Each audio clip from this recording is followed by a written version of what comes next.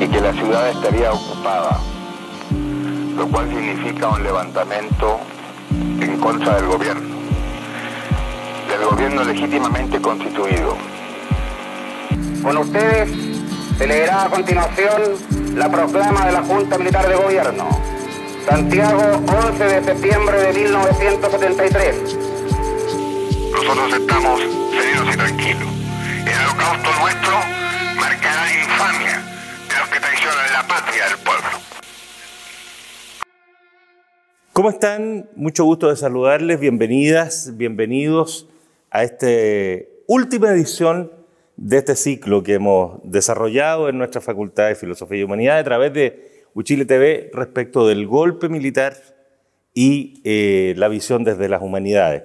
Agradecerles que nos hayan acompañado en todos los eh, espacios anteriores e invitarlos, por supuesto, a la conversación que tenemos ahora para cerrar y redondear el ciclo este que hemos eh, desarrollado para ustedes. ¿Y quién mejor para eso que el profesor Grino Rojo, con quien vamos a tener el gusto de compartir los próximos minutos? Grino, un millón de gracias por la gentileza de compartir este tiempo. gracias a ti, Felipe, y gracias al, al grupo que está encargado de esto, ¿no? Grino, desde- en, bueno, en, en- en las conversaciones anteriores, cada uno de nuestros invitados le hemos pedido partir por contar el golpe personal, cómo lo vivieron, cómo fue ese momento y, por supuesto, el contexto del, tiempo que estaba. Tú eras activamente eh, académico ya, estabas funcionando, ¿cuál, en, en qué lugar te toca vivir esto? Bueno, en el caso mío la situación es bastante particular, ¿no? Eh, porque eh, durante la segunda mitad de la década del 60 yo estuve haciendo mi doctorado en Estados Unidos y finalmente terminé mi trabajo de doctorado en agosto del 70 y nos vinimos rápidamente, eh, la familia y, yo mismo, ¿no? a, a Chile con la intención de votar en la elección por Salvador Allende, obviamente.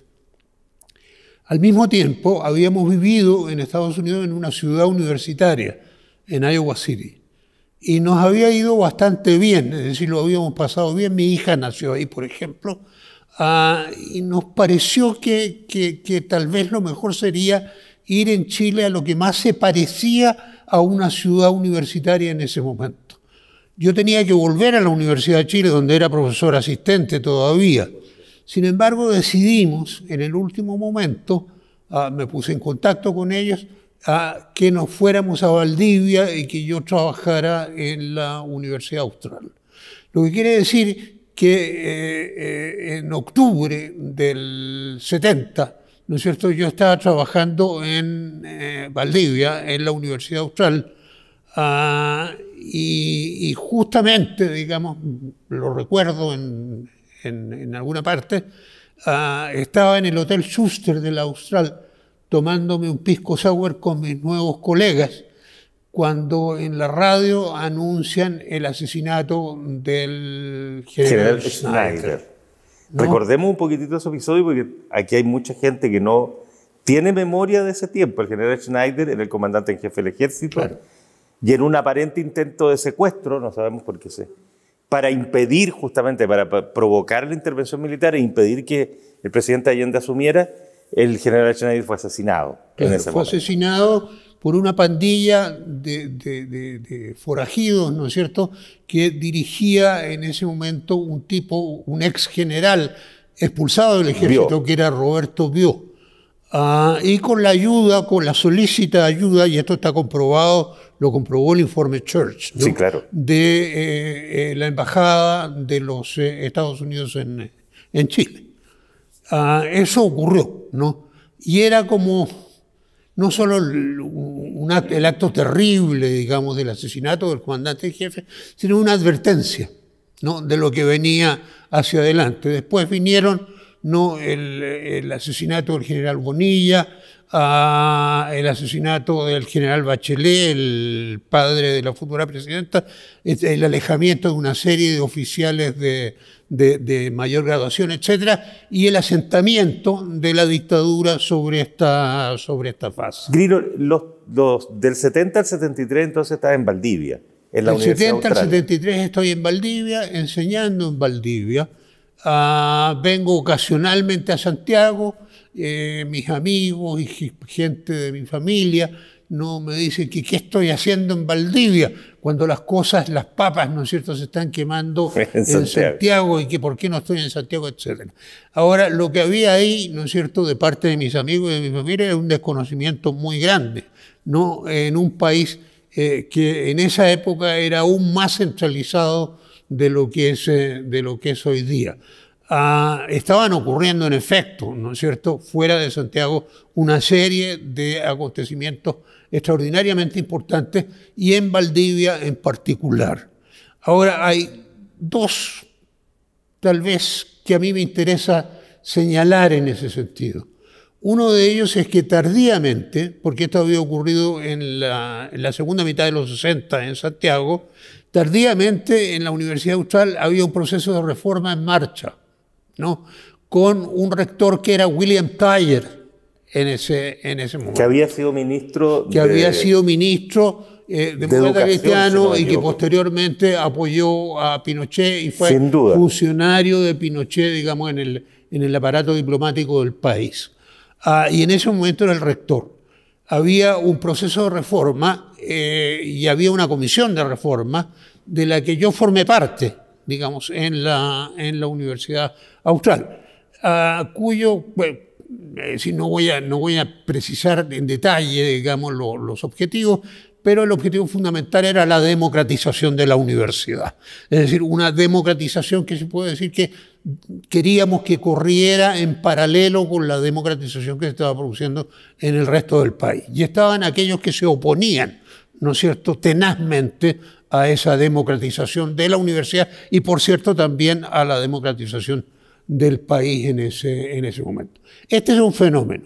El otro fenómeno era el que estaba ocurriendo al otro lado del río Calle Calle, es decir, en la, en la ribera de la ciudad, donde había todo un movimiento también en, eh, en funcionamiento y del cual mi mujer, por ejemplo, formó parte muy fuerte porque era funcionaria en ese momento del, eh, del Servicio de Cooperación Técnica y en particular de una división del Servicio de Cooperación Técnica cuya función, cuyo objetivo era apoyar, ¿no es cierto?, a los, eh, a los alfareros indígenas, es decir, no solo a los alfareros, sino a los indígenas en la producción de cestería, telares, eh, alfarería, ¿no? Eh, eh, para liberarlos en algún sentido de la, de la intermediación de los tipos que les compraban a huevo, ¿no es cierto?, lo que producían y que lo vendían carísimamente en la ciudad.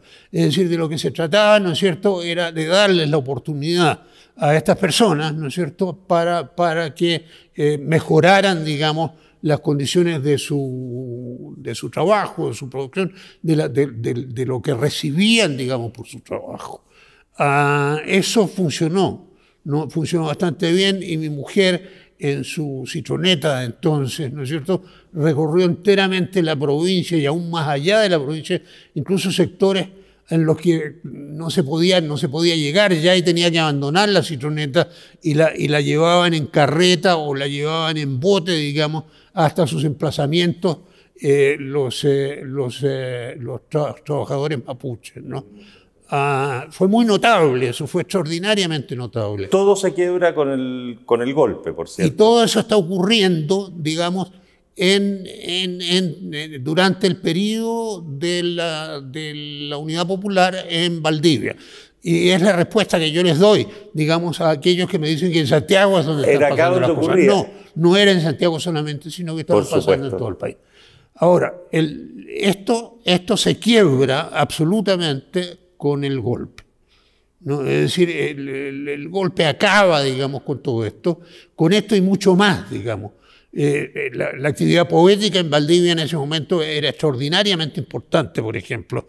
Ah, la actividad teatral, la actividad musical. Agustín Cuyel era el director de la Sinfónica, ¿no? Ah, Omar Lara, digamos, era, era el gran poeta en ese momento de la ciudad y la revista eh, de Omar era la revista que circulaba, digamos, y se hacían reuniones de poesía, etcétera. Bueno, todo esto, ¿no es cierto?, llega a su término en el momento del golpe. ¿Qué pasa en la universidad? Y en la universidad, y en la universidad, la rectoría y la Secretaría General de la universidad, la rectoría cuyo rector era William Tyer y la Secretaría General de la universidad cuyo secretario general era Hernán Poblete Varas, entrega listas a los militares de los profesores, eh, entre comillas, sediciosos, y en los cuales hay que, hay, que poner, hay que poner el ojo. Y empieza la gran redada, ¿no? Ah, esa gran redada significa que el mismo día de la, de la muerte de Neruda, es decir, del asesinato de Neruda a estas alturas, ¿no? Eh, a mí me van a buscar ¿no? a la casa. Ah, yo le digo a mi mujer, bueno, aquí, hasta aquí llegamos, ¿no es cierto? Tú te vas a Santiago con, con, con los niños, ¿no? Y yo me he hecho, yo tengo dos posibilidades, digamos, en ese momento. Una es entrar en la clandestinidad, para lo cual no tengo ninguna posibilidad de funcionamiento. Jamás he tenido un arma en mis manos, ni menos todavía la he usado. Ah, y la otra es entregarme, no porque no de verdad fuera de ser un profesor izquierdista metido, digamos, en, la, en, la, en el proceso de reforma de la universidad, no hay nada más en contra mía. Ah, de modo que me voy a entregar. Me he hecho una, eh, una, una ah, manta al hombro, digamos, y parto a la próxima comisaría y me meten en la cárcel de Valdivia. Yo entro en la cárcel de Valdivia y en la cárcel de Valdivia ya en ese momento, ¿no es cierto que estaba la mitad de los profesores y la mitad de los estudiantes de la Facultad de Filosofía, que era a la que yo pertenecía, encabezados por Guillermo Araya, que había sido el opositor de William Tyer en las elecciones de la... Estamos hablando de noviembre más o menos. De... ¿Cómo? No, estamos hablando del el año 74 hasta el Estoy hablando del 74, claro, estoy hablando, es decir, no, estoy hablando después del golpe, digamos, ¿no? Todo esto, a mí me metieron, ¿cuándo fue? El 21 de no, por supuesto, estaba, estaba, el golpe del 11 de septiembre y esto, en la muerte de Neruda, dice. El 21 creo que es la muerte de Neruda.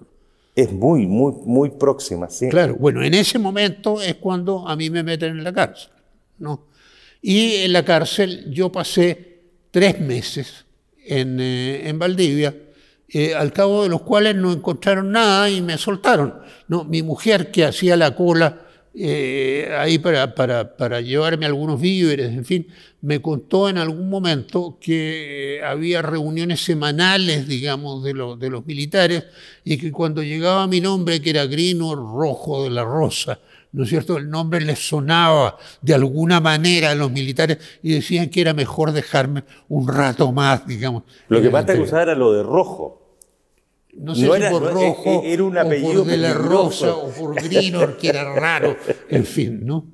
Eh, la cosa es que me soltaron en diciembre, me metieron en septiembre, me soltaron en diciembre, y ahí nos fuimos al exilio, eh, en, al principio en la Argentina, con, con, una beca Friedrich Hebert de alemana. Sí, claro. Ah, y posteriormente yo me fui a Estados Unidos porque tenía un doctorado de Estados Unidos. Mi hija había nacido en Estados Unidos y me ofrecían trabajo, digamos, en diversas universidades. ¿Cómo es el exilio, Grino? No, no en particular el, el, trabajo y todo eso, tú vas a una universidad, etcétera, pero el, el, la emoción del exilio, la, la vivencia del exiliado. Bueno, tal vez, tal vez es, es, un largo exilio, debo decir, ¿no? Pero hay que empezar, digamos, por el primer, eh, por el primer año, ¿no? Ese primer año, nosotros llegamos en la Navidad del 73, ¿no? Llegamos a Buenos Aires a, alojarnos en un hotel de mala muerte, digamos, mientras conseguíamos un departamento. Finalmente, la Fundación Friedrich nos pagó un departamento en Santa Fe y Salguero, en, eh, en, Buenos Aires, que tenía dos habitaciones y un corredor, uh, y que tenía lo bueno y lo malo de estar céntricamente ubicado en Buenos Aires.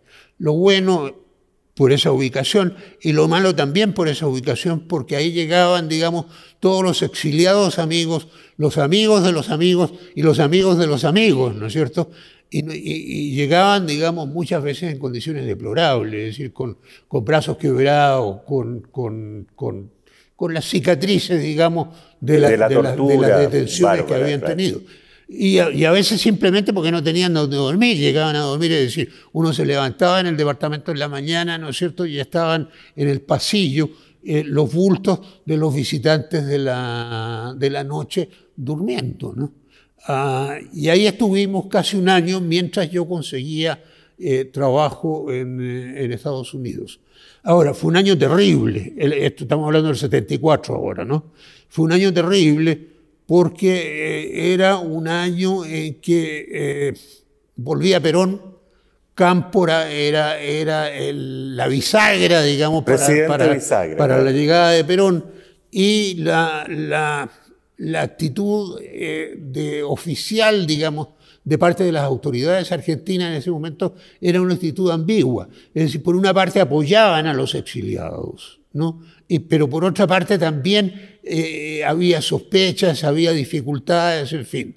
No, esa ambigüedad, una vez que muere Perón ¿no? y, que, y que Cámpora sale del, eh, del escenario, desaparece, ¿no es cierto? Y la cosa se torna dura. Muy peligrosa y Se torna dura claro. y peligrosa porque López Rega, ¿no? el brujo López Rega, eh, se convierte en el asesor de la, de la presidenta, ¿no? Y, y, ese es el jefe de la, de la AAA. De la represión brutal. Y, y claro, y en ese momento eh, había que salir de Buenos Aires tan rápidamente como, como fuese posible, cosa que nosotros hicimos y partimos entonces a Estados Unidos. ¿Cuándo vuelves a Chile, Grino?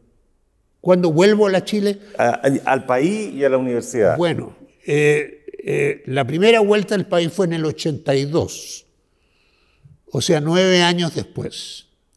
Ah, y fue al 80, el, el, el, año, digamos, en que se produce la crisis económica del gobierno dictatorial. Y ¿no? las primeras protestas. Y, la, y, y, que van a desencadenar las primeras protestas. Yo estuve solamente un mes, no alcancé a participar en las protestas, pero ya la crisis estaba instalada, ¿no?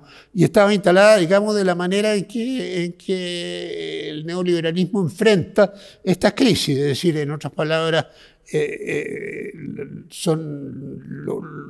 es el Estado, ¿no es cierto?, el que se hace cargo de tapar el forado económico en ese, en ese momento. Y vienen posteriormente las, las protestas. Yo estoy un mes ahí, aquí, ¿no? Un mes de redescubrimiento después de nueve años, ¿no es cierto?, de redescubrimiento de Chile. Uh, desde ahí en adelante, yo estuve viniendo entre el 82 y el 95, yo estuve viniendo cada cierto tiempo, ¿no? a, a, Chile y siendo profesor visitante. ¿no? Fui profesor visitante en la Universidad de Santiago, fui profesor visitante en la Universidad de Chile eh, varias veces. ¿no?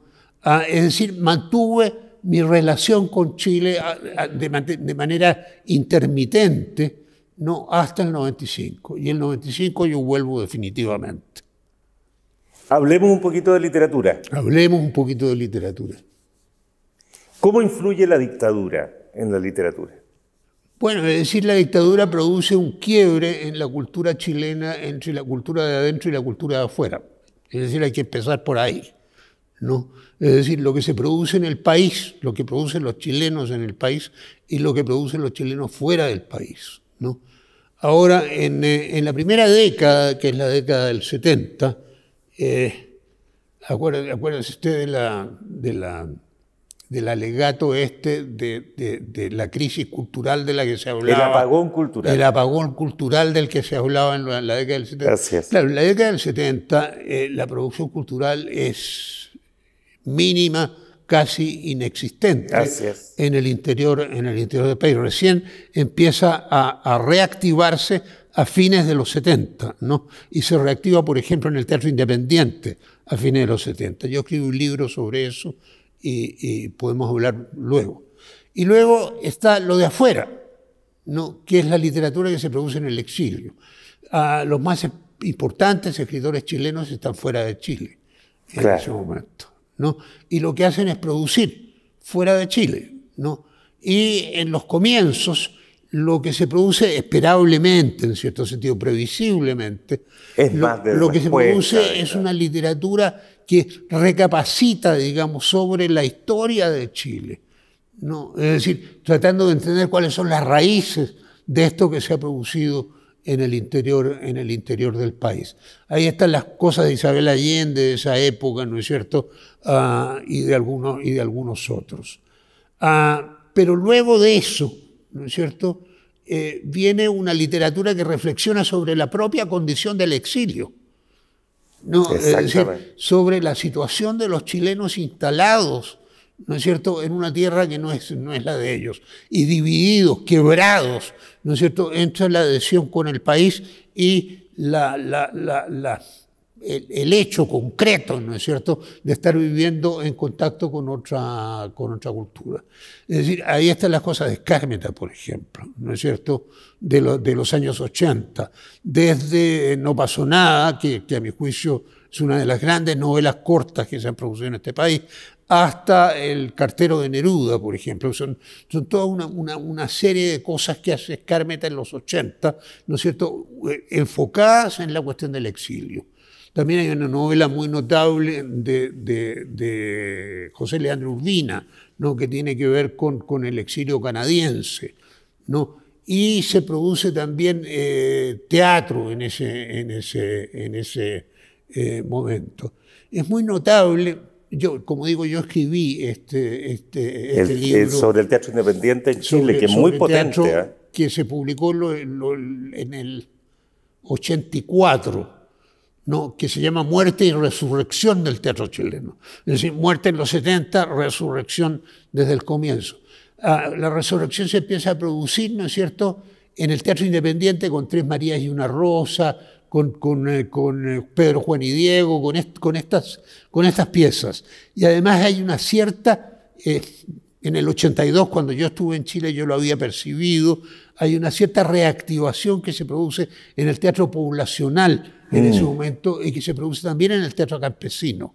¿no? Ah, que, es algo que ocurre, digamos, entre el 79, el 80, el 81, etc. Hay, un cierto impulso de las propias compañías, como el Teatro Imagen. efectivamente, una, serie, una serie de compañías independientes. Lo que hacen esas compañías en rigor, ¿no es cierto?, es reemplazar el poderosísimo teatro universitario que había existido hasta el golpe, ¿no? y que había sido simplemente cegado por, por, por, la mano, por la mano dictatorial. Estas compañías independientes en buena medida están compuestas por gente que proviene de esos teatros universitarios y que se reactivan, digamos, en el teatro.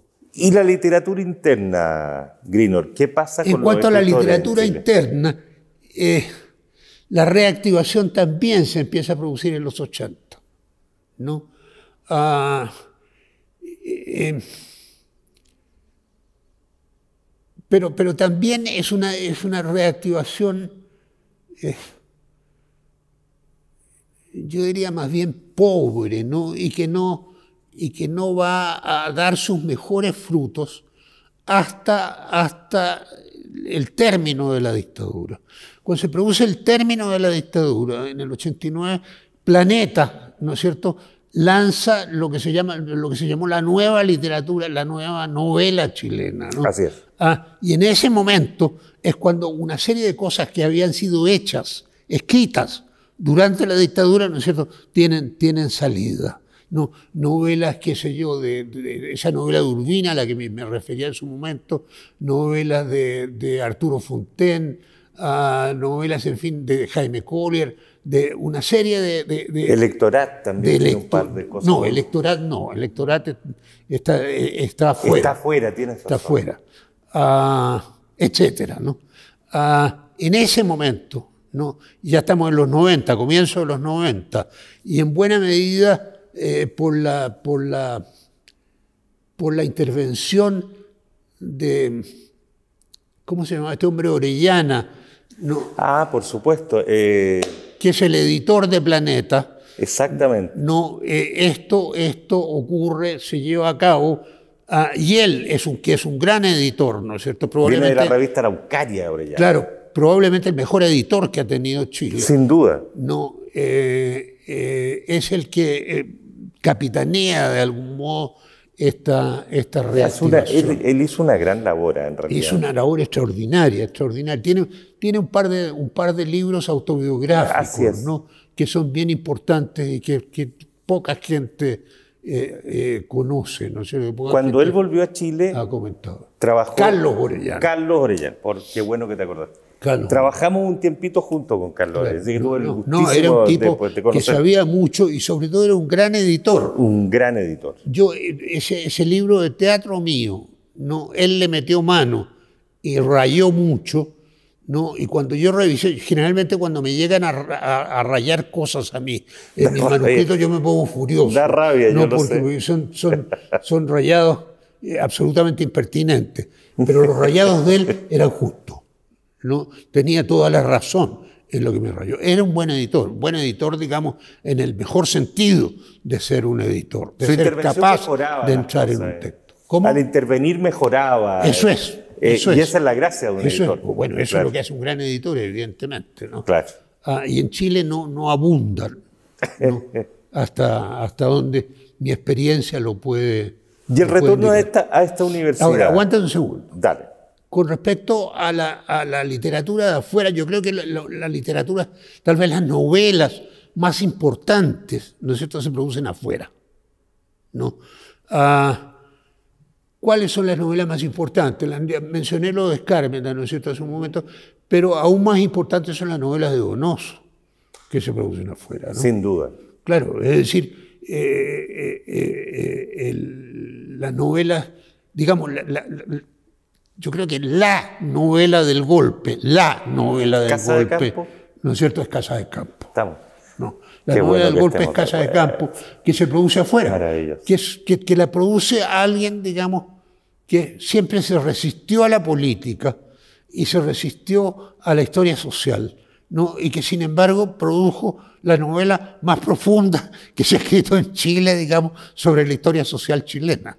Ahora, es una novela alegórica, Por supuesto. Evidentemente, ¿no es cierto? Y hay que saber leerla, ¿no? Pero, pero si se sabe leerla bien, y Luis Íñigo Madrigal, por ejemplo, la ha leído muy bien, y yo mismo escribí una cosa sobre ella, ¿no? Eh, es, es una novela que, que realmente retrata, ¿no? con esa alegoría, ¿no? Eh, eh, lo que ha sido ¿no? la historia social de este país. ¿no? Claro, porque no es solo el golpe, ¿ah? es, No, la, domi- no, es es la decir, dominación. Claro, es decir, hace lo que había sido el propósito desde siempre, es decir, el entender no el golpe como un fenómeno aislado, ni siquiera como un fenómeno de respuesta al gobierno de Allende, sino como, una re- re- refundación, ¿no es cierto?, de la historia de Chile eh, desde el comienzo del siglo XX en adelante, ¿no?